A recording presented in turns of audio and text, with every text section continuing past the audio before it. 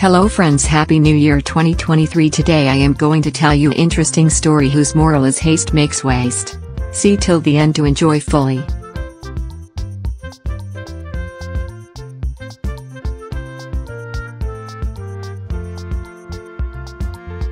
Once upon a time in the village, there lived a hunter named Ramesh. Ramesh had a faithful dog named Sid. Sid liked Ramesh very much and used to obey all the instructions of Ramesh. Ramesh had a son named Joy. Joy was very fond of Sid. Sid also loved Joy. Every day they used to play. One day the hunter's wife went out and Joy was alone in the house. Seeing this, Ramesh left the dog and went out to hunt. As soon as Ramesh left the house, a wolf entered through the backyard. The wolf saw Joy sleeping and tried to attack. Then, seeing this, the Sid jumped on the wolf. Sid fought with the wolf. In the long run, Sid killed the wolf and saved the boy.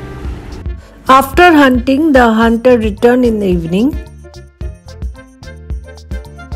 Then Ramesh, after returning, saw Sid covered with blood. Seeing this, Ramesh thought that Sid has killed his son. Without thinking, Ramesh got angry and picked his gun and shot.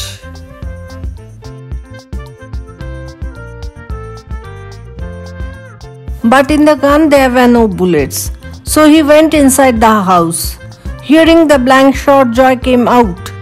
Seeing Joy, Ramesh became happy. Then Joy told the whole story to Ramesh how Sid saved his life. Hearing this, Ramesh ran towards Sid and embraced the dog.